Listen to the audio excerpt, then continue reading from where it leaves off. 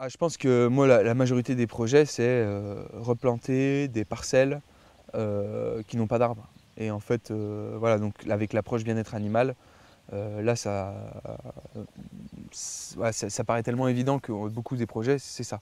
Donc c'est le bien-être Voilà, c'est le bien-être animal. Après, ça, c'est notre objectif, c'est notre porte d'entrée. Et après, on y rajoute des, des éléments.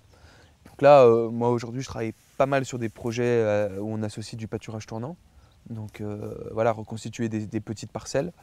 Euh, on a pas mal de demandes sur les arbres fourragers. Euh, et puis après, j'oublie quand même une bonne partie des éleveurs aujourd'hui qui ont aussi beaucoup d'arbres à gérer.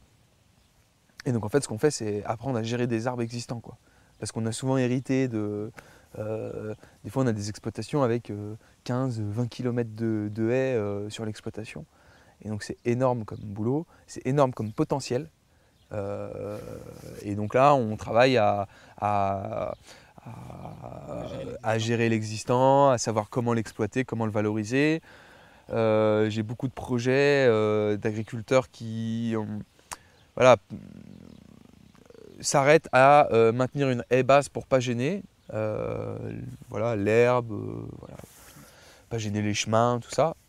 Alors certes, une haie basse, ça peut faire clôture plus aisément qu'une haie haute, mais en fait, on se rend compte que bah, on va se retrouver avec euh, euh, des pruneliers, de l'aubépine, euh, pas les essences les plus intéressantes.